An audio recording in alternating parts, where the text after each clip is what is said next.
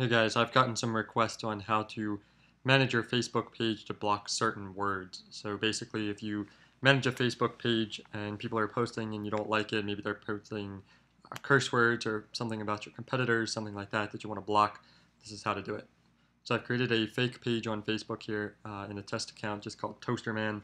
Um, if you go into your page account and click on settings, uh, make sure you are, where at the top, make sure it says you're posting or commenting as your page name first. Um, go ahead over to settings, click on uh, general, make sure that tab is selected, and then about uh, halfway down you're going to see a couple different settings. One is the profanity setting, so we're going to first edit that.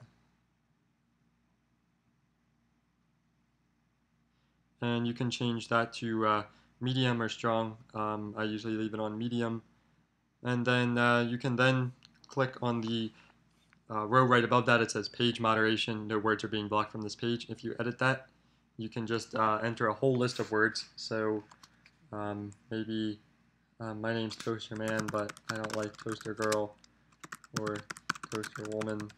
So I'm going to block those words from my page. Save those changes head back over to your page and people when they post those it'll either show up in your spam filter and you have to approve them or it'll just outright block them from posting that word. So pretty simple, straightforward, easy thing to do. Thanks for watching.